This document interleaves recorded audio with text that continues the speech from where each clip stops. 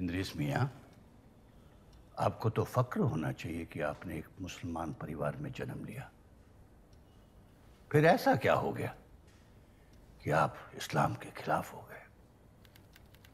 मौलवी साहब, आपके हिसाब से मुसलमान तो मैं बाद में हुआ, पर मेरे हिसाब से इस धरती पर पैदा होते ही मैं हिंदुस्तानी हो गया। और हिंदुस्तानी होने के सारे संवैधानिक अधिकार मेरे हिस्से में आ गए। हमें अपनी जान से भी ज़्यादा प्यार करने वाले, हमारे लिए पूरी दुनिया से लड़ जाने वाले हमारे अब्बू। हमारे अब्बू भी खामोश हो गए थे। तुम्हें फ़िक्र है ना कि तुम्हारे बच्चे और बच्चों की तरह नहीं है?